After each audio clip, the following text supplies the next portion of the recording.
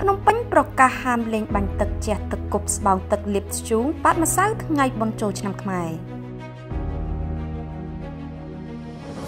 រដ្ឋបាលរាជធានីភ្នំពេញនៅថ្ងៃទី4ខែមេសាឆ្នាំ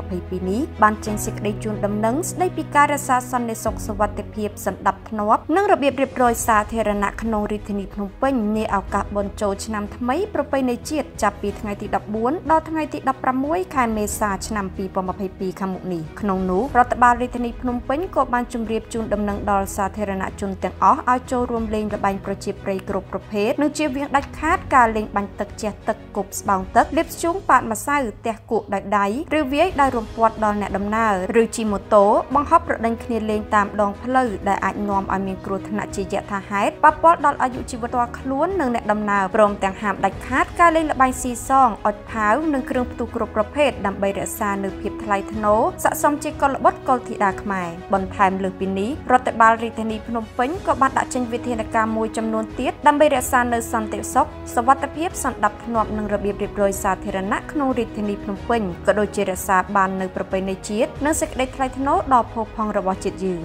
។